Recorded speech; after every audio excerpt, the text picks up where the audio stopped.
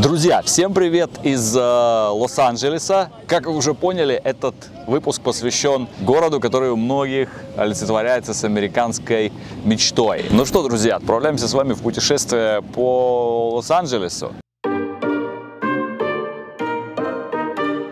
Сам Лос-Анджелес это город, построенный на мечтах.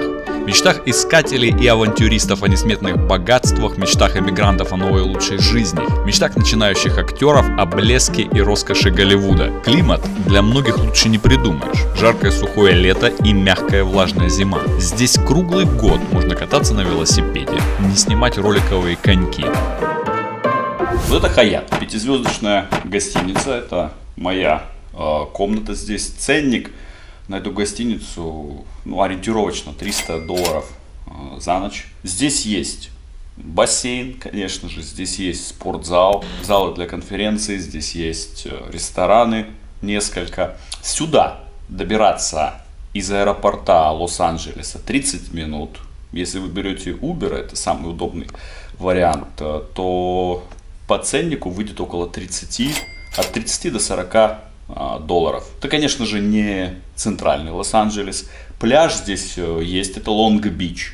Пляж не самый, честно говоря, чистый и не самый живописный, но как бы, если есть желание, то позагорать и искупаться можно. На этом с Хаятом все, едем дальше.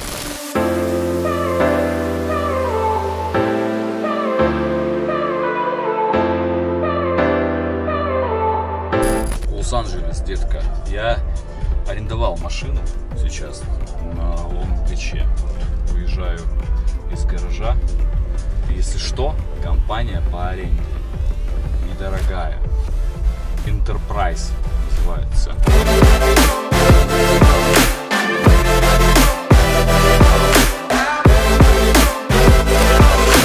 Я уже час катаюсь по пригородам Лос-Анджелеса.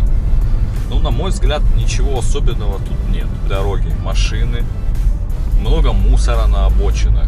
А видно, что много такого нищего населения, скажем так. Пробок, ребята, много. Еще такая тема интересная, что на многих заправках у них есть вот это вот курочка, курочка продается. Знаете, хрустящий цыпленок. И сейчас заезжал на Shell на заправку, заправлялся. И, ну, у нас, если как бы можно купить, что у нас можно купить? Какой-то сэндвич, там еще что-то. У них вот много где вот эта вот курочка хрустящая. И сразу же тоже любители курочки стоят, отовариваются.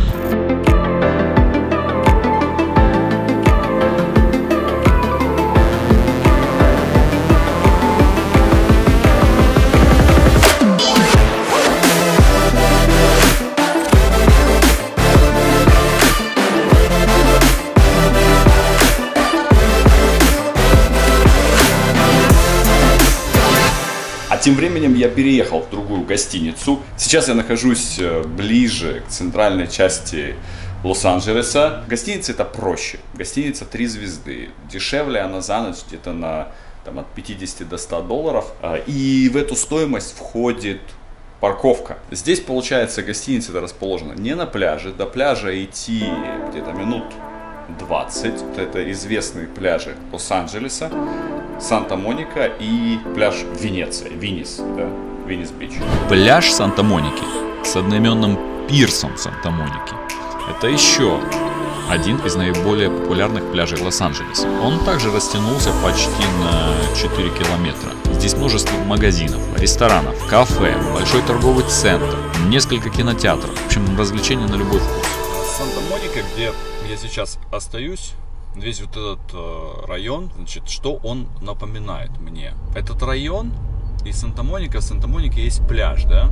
Вот сам пляж мне напоминает чем-то английский Брайтон. Также есть пляж, есть пирс, есть куча баров и ресторанов, которые находятся на побережье. Вообще, вы знаете, для меня вот Лос-Анджелес и мое вот впечатление о Лос-Анджелесе, это вот как, что ли, такие американские горки. То есть город, который олицетворяет себе такую американскую мечту. Приехал, попал в кино. И в то же самое время, да, что происходит и что случается, если приехал в Америку и не добился ничего, и ничего не получилось. Да, здесь есть, конечно, и супер дорогие районы, супер как бы крутые машины, очень много богатейших людей, да, здесь живет в разных районах. Здесь находится э, киноиндустрия. И в то же самое время здесь просто есть такая нищета.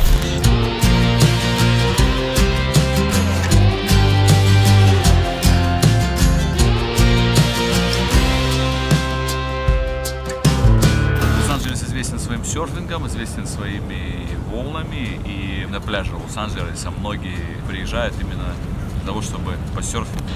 Лос-Анджелесу определенно повезло с погодой. И погода здесь хорошая как днем, так и ночью. В Лос-Анджелесе вам точно не придется комплексовать по поводу возможного акцента. Этот город является домом для представителей более чем 140 стран, говорящих как минимум на 224 различных языках. На данный момент это крупнейший город Калифорнии.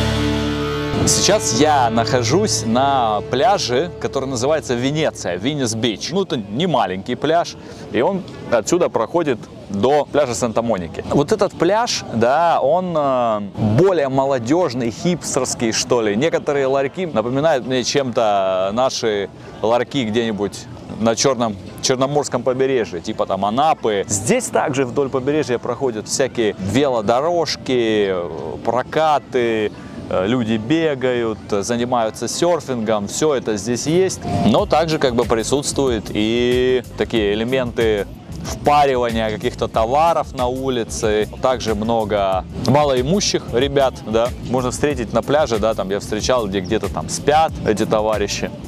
Ну, куда денешься? Венес Бич, или пляж Венеция, или венецианский пляж. Это визитная карточка Лос-Анджелеса.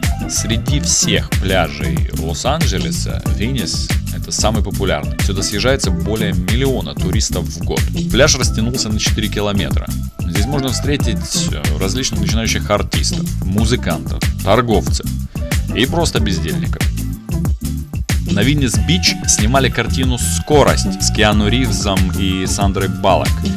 Здесь также снимали фильм «На последнем дыхании» с Ричардом Гиром. Телесериал «Спасатели Малибу» снимали не на пляжах Малибу, а именно здесь. Лос-Анджелес, во-первых, для многих это город мечта, да, и как он только не называется, самое популярное название, наверное, это Лос-Анджелес, да, Лос-Анджелес, город ангелов. Также его по-испански могут называть и Эль Пуэбло, что значит как бы городище, да, город. Ну, как бы он ни назывался, многие хотят сюда приехать, и популярность ему обеспечивает прежде всего Голливуд, да, который здесь находится, и звезды, которые здесь живут, и, и район Беверли-Хиллз, который один из самых дорогих районов. Да, ну и, конечно же, если вам э, интересна учеба в Лос-Анджелесе, то я сделаю целых несколько выпусков касательно учебных заведений в этом городе. Поэтому заходите на наш канал SMAPS Education. Об образовании обязательно подписывайтесь. Линки в описании к данному видео. Подписывайтесь на мой инстаграм.